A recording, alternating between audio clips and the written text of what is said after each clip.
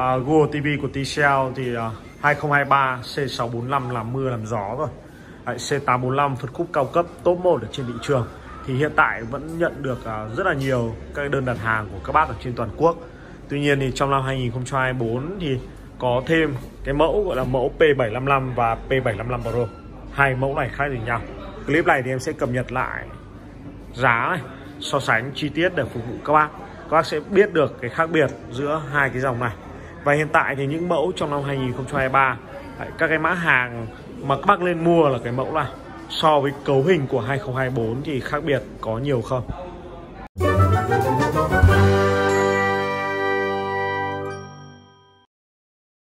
À, một số các mẫu 65 inch của TCL thì vẫn nhận được rất là nhiều những đơn đặt hàng cũng như là nhận được nhiều cái quan tâm của các bác ở trên toàn quốc.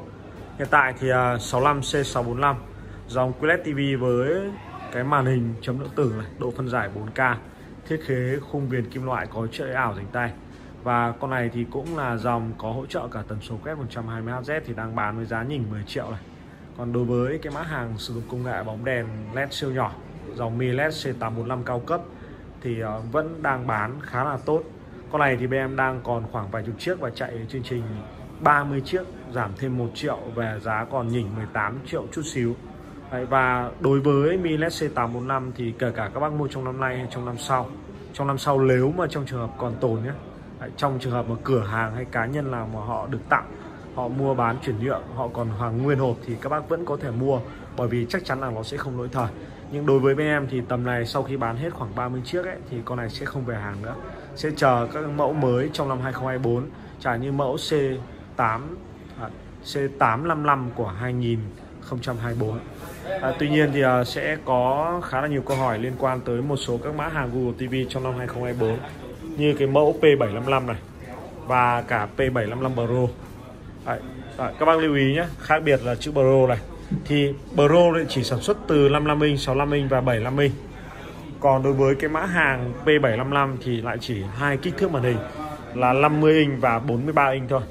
À, tổng quan của à, tổng quan của mẫu P755 trong 2024 ấy thì đây là mẫu thay thế cho con P745 của năm trước. Con này thì có một cái chi tiết là các bác cần để ý là con 745 năm trước thì cũng sẽ sử dụng cái công nghệ giải màu rộng YKL Gamut này. Nó hiển thị ở 93% chuẩn chuẩn màu.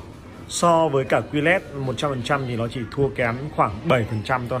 Nên là đây là phân khúc thấp hơn so với cả con ờ, QLED C645 hay là QLED C655 của 2024 nhưng sẽ cao hơn so với cả dòng à, dòng phân khúc rẻ tiền dòng P635 hoặc là 638 và đối với thiết kế khung viền thì vẫn là kim loại nhá. Cũng là chân đế chống chữ V theo kiểu cũng được hai đầu. Đã có trợ ảo dành tay là à, Google TV với hệ thống các chương trình các ứng dụng tập trung tại màn hình trang chủ trực quan. Các bác dễ dàng có thể là trải nghiệm có thể ra lệnh bằng giọng nói hay là có thể cài thêm được các ứng dụng từ bên ngoài và đây là cái thế hệ TV thông minh, có cái tốc độ bắt câu lệnh vô cùng chính xác trả kết quả không có sai, không có lệch bất cứ một cái thông tin nào cả. Nhưng P755 và P755 Pro thì các bác lưu ý là nó khác biệt, là khác biệt ở cái chi tiết này các bác cùng em nhìn ở phía sau lưng của một con TV P755 nhé. Đây là cái điểm khác biệt giữa con P755 và P755 Pro từ 55 inch trở lên 55 inch 65 inch 75 inch thì P755 Pro sẽ có thêm một cụm loa súp ở phía sau công suất khoảng 15W và đối với có thêm loa súp như vậy thì âm thanh của TV chất âm bass chất âm trống của TV với dòng P755 Pro nó sẽ hay hơn. Đấy, uy lực hơn chân thực hơn so với cả cái dòng không có cái loa này. Và đối với cái dòng P755 mà chỉ sản xuất kích thước màn hình 43 hoặc 55 inch thì là nó sẽ không có cụm loa ở phía sau à, đối với cái mẫu mà 43 P755 hiện tại thì đang bán với giá nhỉnh 7 triệu. Tuy nhiên tầm này nếu nhỉnh 7 triệu mua 43 inch ấy, thì các bác lên mua cái mẫu 43 Q646 hoặc là 43C645 Đấy. Hai cái mẫu này thì đang có giá khá là tốt Bán với giá nhỉnh 7 triệu. Và đối với cái mẫu 43 Q646 hoặc C645 này thì nó là công nghệ màn QLED rồi. Hiển thị 1 tỷ sắc màu. 100% giải màu được uh, thể hiện ở trên màn hình. Có độ sáng 450 lít. Đấy, giá của 43P755 hiện tại nhỉnh hơn so với cả 43Q646 hoặc C645 khoảng tầm có 1-200 nghìn thôi. Nhưng chất lượng hiển thị nhưng cấu hình như chip xử lý như hỗ trợ tần số quét 120Hz thì trên con Q646 hoặc C645 nó sẽ vượt trội hơn so với cả con P755 này. Đấy, hệ thống các cổng kết nối cũng được bố trí ở bên sườn. Đấy, đủ hết các cổng từ HDMI, cổng tai nghe 3.5, cổng USB, cổng mạng có dây. Đấy, cổng optical. Đấy, nhưng cái gì? Cái thua kém của cái dòng này là nó chưa có QLED chưa có hiển thị 100% giải màu và chưa có hỗ trợ tần số quét 120Hz giống như trên con C645 hoặc Q66 của 2024 tất cả các sản phẩm các bác mua hiện tại thì đều bảo hành 25 chính hãng tại nhà trong một tháng đầu các bác dùng nếu gặp lỗi của nhà sản xuất thì BM vẫn đổi mới hoàn toàn Đấy, đối với kích thước màn hình 55 inch hiện tại thì 55P755 Pro thì đang bán với giá sau khi trừ hết quà về sấp xỉ 10 triệu Tức là giá hiện tại của cái con 55P755 này thì khá là cao so với cả 55C645 đang bán với giá khoảng tầm 9 triệu 2, 9 triệu 3 đó. Nhưng cái mẫu đó thì là đang Clio model đang không còn sản xuất nữa, đang hết hàng. Và hiện tại nếu mà mua C645 thì các bác cố thêm khoảng tầm trên 1 triệu. Đây, con này đang bán khoảng tầm 10 triệu, 1 triệu mốt nhá. 55P755 này, 55P755 Pro này. Thì đang bán khoảng tầm 10 triệu mốt nhá. Nhưng với giá như vậy mà cân nhắc lấy 55P755 Pro hay không ấy thì các bác nên lựa chọn con này. 65C645 bán với giá nhỉnh 10 triệu chút xíu. Đắt hơn vài trăm nghìn nhưng kích thước màn hình lớn hơn.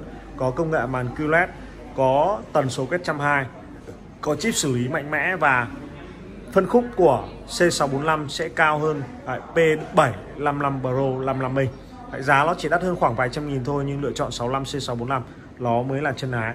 Còn đối với 65C 655 hiện tại thì mặc dù đã giảm rồi con này sau khi trừ hết quà thì đang giảm về còn sấp xỉ. Đấy, nó đang bán và còn khoảng tầm sấp xỉ tầm 14 15 triệu. Nhưng đấy, hiện tại thì giá vẫn đang khá là cao nên có nhiều bác còn cân nhắc. Đấy, con này sẽ vượt trội hơn với công nghệ loa à, Onkyo loa súp lớn đặt ở phía sau lưng so với con C655 năm trước.